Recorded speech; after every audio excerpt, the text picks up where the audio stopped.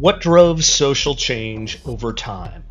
In the 20th century, many groups began to challenge old ideas about race, class, gender, and religion.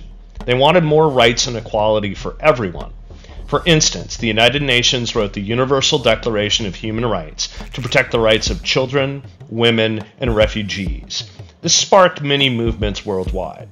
Every push for change met resistance from those who wanted to keep things the same. One of these movements was global feminism. Women from different countries united to fight for their rights. They faced strong opposition from traditionalists who believed women's roles should remain limited. For instance, in the United States, opponents of women's suffrage argued that women's primary role should be in the home, not in politics. The Negritude movement celebrated black culture and heritage and encountered resistance from colonial powers who wanted to maintain control. French colonial authorities, for example, tried to suppress Negritude literature and art to keep their hold on African territories. In Latin America, liberation theology combined religious beliefs with the fight for social justice, often clashing with both church and state authorities who preferred the status quo. The Vatican criticized liberation theology, seeing it as too radical and a threat to church authority. These movements led to significant changes despite the pushbacks. Education became more accessible, and new political and professional roles opened up for people of different races, classes, genders, and religions. For example, women gained the right to vote and hold public office in countries like the United States, 1920, Brazil, 1932, Turkey, 1934, Japan, 1945, India, 1947, and Morocco, 1963. Women also started going to college more often and taking on more jobs in many parts of the world, despite facing discrimination and backlash. For instance, women entering male dominated fields often faced workplace harassment and pay inequality.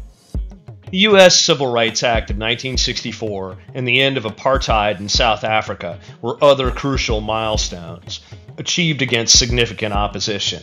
In the U.S., civil rights activists faced violent responses, including police brutality and attacks by white supremacist groups. In South Africa, anti apartheid activists were imprisoned, and protests were met with violent crackdowns. In India, the caste reservation system aimed to improve opportunities for lower castes, facing fierce resistance from upper caste groups. Upper caste communities often protested and sometimes rioted against affirmative action policies. The fight for equality didn't stop there. Many people began to protest the unfair environmental and economic impacts of global integration. Groups like Greenpeace, originally made to fight an underground nuclear test, and Professor Wangari Maathai's Green Belt movement in Kenya focused on protecting the environment, often clashing with powerful industries. For example, Greenpeace activists have been arrested and their ships have been seized during protests against illegal fishing and deforestation. On the economic front, organizations like the World Fair Trade Organization work towards fair trade practices, facing resistance from large corporations. Big companies often lobbied against fair trade regulations, arguing that they would increase costs and hurt business. So, what really led to all these changes? It was the realization that everyone deserves equality and rights. The twist is, while the world has made significant progress, the fight for justice and equality continues today, often meeting resistance. We are all part of this ongoing story, and the next chapter depends on us. How will you contribute?